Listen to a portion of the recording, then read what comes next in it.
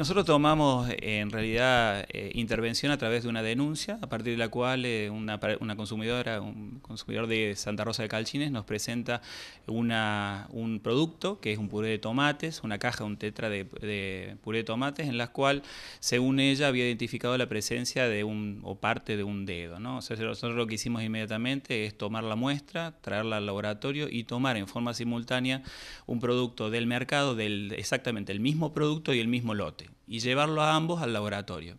En el laboratorio lo que se pudo identificar en el producto involucrado fue la presencia de gran cantidad de hongos en forma de colonias distintas, de distintas formas y distintos tamaños.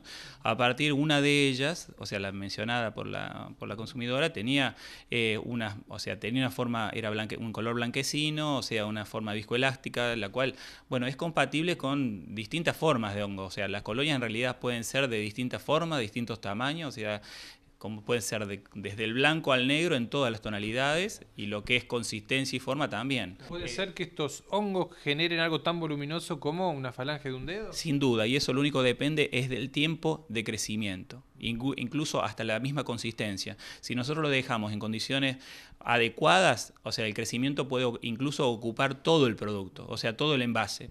Eh, esto es sumamente importante el tema de lo que es la manipulación de los productos una vez que son abiertos. ¿Esto se supone que se generó una vez el producto abierto o puede generarse con el producto cerrado?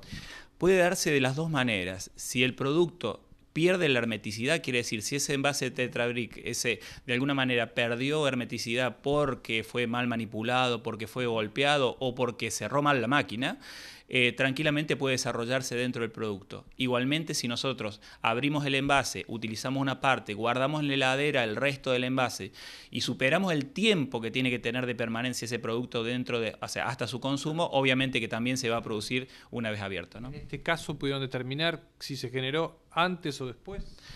En realidad no, porque nosotros lo que podríamos, o sea, según la, denunciante, o sea, lo utilizó un viernes y después corroboró el mal estado el lunes, o sea, que estaría dentro del límite de lo que permite el, el producto, pero no justificaría la gran cantidad de hongos que tenía ese producto en el momento del análisis. O sea, estamos hablando de que en realidad podría haberse dado por una pérdida de hermeticidad del envase antes incluso de la compra o o durante la manipulación dentro del domicilio antes de la apertura del envase. O sea, tengamos presente que cualquier golpe o cualquier presión excesiva que puede sufrir ese envase eh, puede sufrir obviamente una, una ruptura, una pérdida de la hermeticidad.